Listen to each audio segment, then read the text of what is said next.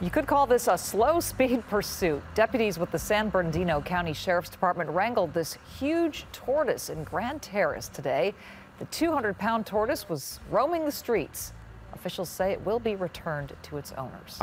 Hello, I'm Mark Brown. Click the ABC7 logo to subscribe to our Eyewitness News YouTube channel.